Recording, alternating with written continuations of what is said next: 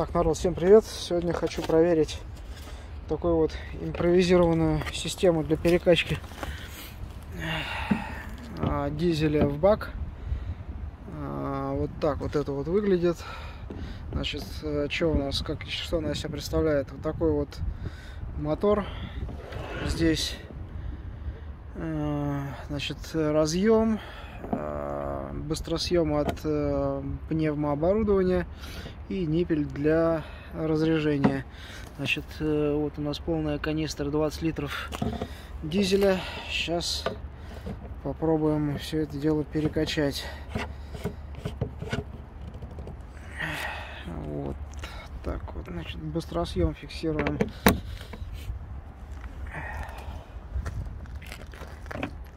На штуцере и разъем питания подключаем к разъему питания. Так, э, значит, включаем таймер. А, готово, да? Там есть шланг, да? Ну, все, погнали. Ну что? Что такое? А, Давай. Все, система у нас заработала. Да, покажем напор. Надержу. Так, вот такой вот у нас напор получается. В принципе, неплохо вроде льется.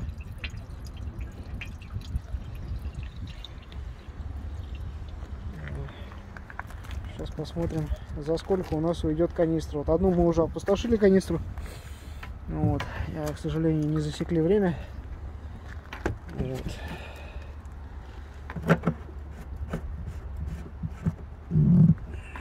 Сейчас посмотрим, за сколько эта канистра уйдет.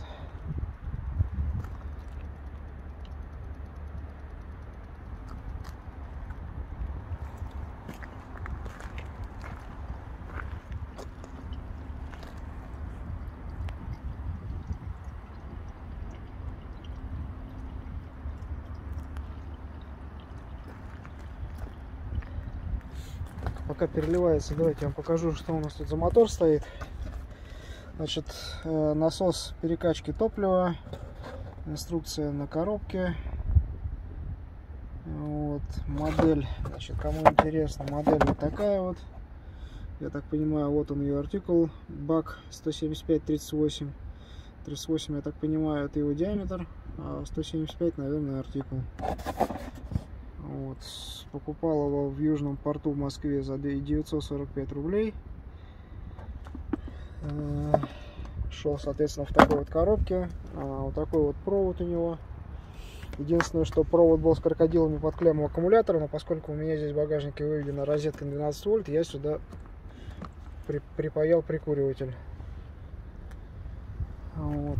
Соответственно, для того, чтобы подсоединить э, систему смонтировал, ну, то есть был разрезан провод, э, смонтирован на один конец э, разъем мама и на папу на монтажную, соответственно, были припаяны провода.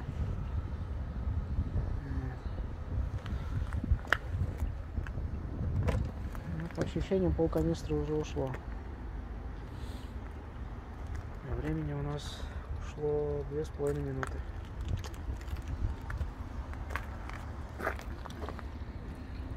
Еще раз. Вот он, поток идет.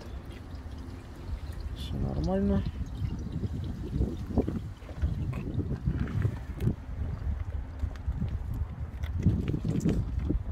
Значит система не идеальна. Систему собрали просто попробовать. Дальше уже проработаем нюансы такие как герметичность не знаю вот целесообразность этого быстросъема ну просто хотел сюда две елочки поставить но елочки они либо очень здоровые были, сантехнические, вот, а вырезать неоткуда было. Может быть, э, закажу токаря, чтобы сделал елочку э, с резьбой, чтобы можно было соединять так два шланга. Один э, шланг, который идет с насоса, второй шланг, соответственно, вот этот. Потому что сейчас у нас получилась и конструкция немного громоздкой. И сечение у нас получилось меньше, чем э, шланг сам по себе, который вот у нас, видите, он 14 на 22, внешний диаметр 22, внутренний 14. А у э, пневматических фитингов у них там диаметр что-то, по-моему, десятка, что ли. Вот, то есть сильно теряем в напоре из-за этого. Вот. Пока так, просто чисто посмотреть, насколько эта конструкция будет удобна. Дальше потом, как я уже сказал, усовершенствовать. О, да, подними его на угол.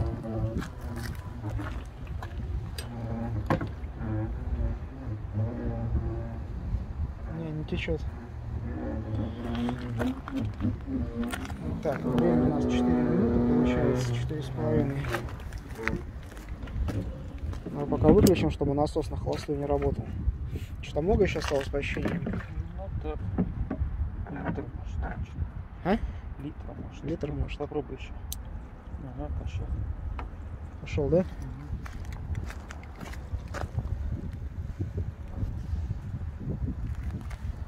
Ну, в общем, 5 минут. 5 минут, короче, канистра получается. Здесь у нас... Да все уже, больше не течет. Ну, что там уже? Ага. Ну вот все. Там плюс-минус 5 минут у нас получилось опустошить 20-литровую канистру. В принципе, можно было и на весу, наверное, но хочется все-таки какой-то автоматизации небольшой добиться, удобства. Поэтому было принято решение вот так вот пока в качестве эксперимента собрать, там посмотрим. Вот, провод, канистра, соединители, шланг. Все, всем пока.